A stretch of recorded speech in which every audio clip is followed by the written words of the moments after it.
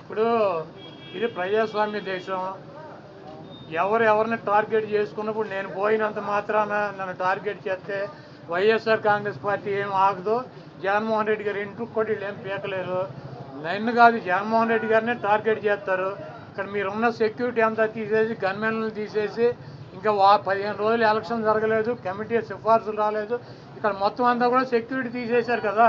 తీసేసి yellow media కేడి కెమెరాలు పట్టుకొచ్చి జగన్మోహన్ రెడ్డి గారి ఇంట్లోకి ఎట్టేళ్ళాలి గోడ దూకి ఎట్టేళ్ళాలి ఇవన్నీ కూడా వాళ్ళే చూపిస్తున్నారు. కాబట్టి ఇక్కడ టార్గెట్ ఎవడు దొరికితే ఆ టార్గెట్ ఇటువంటి వాటికి భయపడే ప్రసక్తి లేదు. ఎవడెవడికి టార్గెట్ ఎవడెవడి చేతులు ఏం రాసి ఉందో అవన్నీ పైన ఉన్నటువంటి భగవంతుడు నిర్ణయిస్తాడు. ఎవరి టార్గెట్లు ఎవరికి ఏమవుతుందో చూద్దాం రాబోయే రోజుల్లో. అదేవిధంగా ఋషికొండలో కట్టినటువంటి ఋషికొండలో కట్టినటువంటి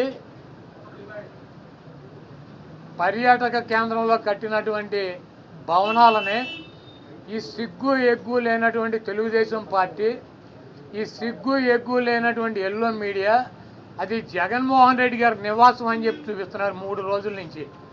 వెళ్ళి జగన్మోహన్ రెడ్డి గారు అక్కడ నివాసం ఉన్నాడా? జగన్మోహన్ రెడ్డి గారు రెండు వేల పద్నాలుగు నుంచి పంతొమ్మిది దాకా ప్రతిపక్ష నాయకుడుగా ఉన్నాడు.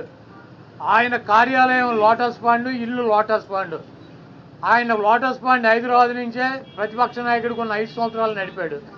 ముఖ్యమంత్రి అయిన తర్వాత ఐదు సంవత్సరాలు ఈ తాడేపల్లిలో ఉన్నటువంటి ఇల్లు క్యాంప్ ఆఫీస్ ఇక్కడి నుంచే నడిపాడు ఆయన కార్యాలయాన్ని కానీ ఇంటిని కానీ జగన్మోహన్ రెడ్డి గారి రక్తంలో లేదు.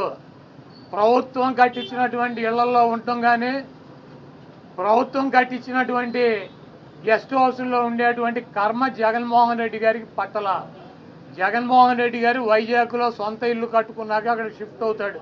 అంతేగాని టూ- టూరిజం ప్లేస్లో కట్టినటువంటి ఆ హౌస్లో జగన్మోహన్ రెడ్డి గారు వెళ్తాడని చెప్పి ఎవడు చెప్పాడు వీళ్ళకి వెధవులకే అది జగన్మోహన్ రెడ్డి గారి కోసం కట్టించుకున్నటువంటి ఇల్లు అని చెప్పి రకరకాలైనటువంటి కథనాలు రాస్తున్నారు. అది ఒక అంతర్జాతీయ రాజధానిగా తీర్చిదిద్దాలన్నదే వైఎస్ఆర్ కాంగ్రెస్ పార్టీ లక్ష్యం. దాన్ని రాజధాని చేయాలన్నదే ఆ రోజు నిర్ణయించుకున్నాం కాబట్టి అక్కడ ఇంటర్నేషనల్ సెమినార్లు జరుగుతున్నాయి.